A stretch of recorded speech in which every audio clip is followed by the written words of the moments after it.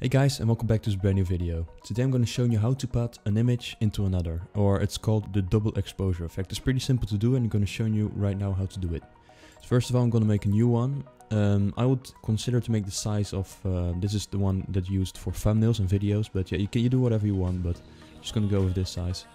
And I'm just going to zoom out one time, there we go. So the first thing you want to do is you want to place your background.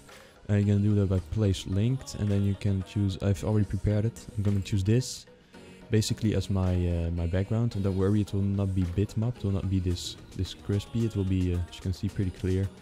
We don't need any more of it. And uh, we can actually double click here down here, you have the background, you can say 0, 0, say okay. We don't really need it, I mean I'm, go I'm gonna leave it but you could, uh, you could pretty much delete it.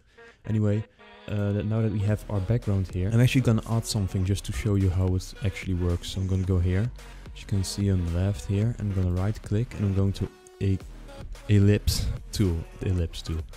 And before doing anything, I hold Shift. so you hold Shift on, on your uh, keyboard, and you basically you drag with your mouse, and now you are sure that you always have a perfect circle. If you don't do it right off the back, you get you get this kind of stuff, and you don't you don't want that. So I actually delete this.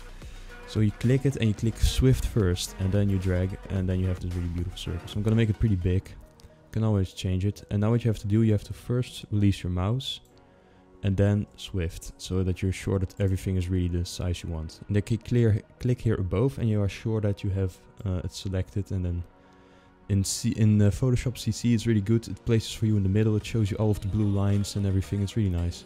So as you can see I have now the circle in the middle uh, maybe you already get the idea here what I'm going to do, but um, just let me just place link the second image here. Okay. So if this doesn't really matter how it is right now, you can always change it and move it around afterwards. So I'm just gonna click OK. And here is the part that it comes. You want to put this into the, in this case, in the ellipse. Okay, so what you're gonna do, you're gonna right click on Swedish landscape in this case, is my image. And you're gonna click create clipping mask.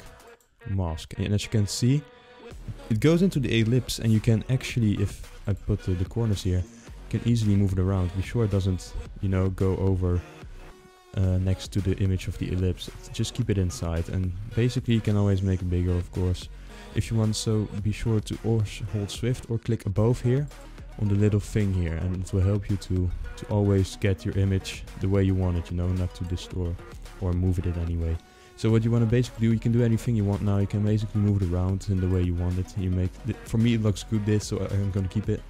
To say like this. And basically what you're going to do afterwards is, yeah, just adding the things, you know.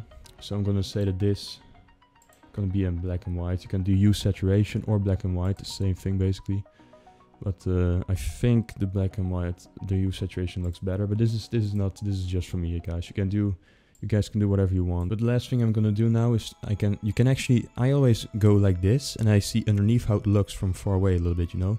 So like it's pretty good, but uh, there feels like something missing. So click on the ellipse. You can double click it, or you can um, you can right click it.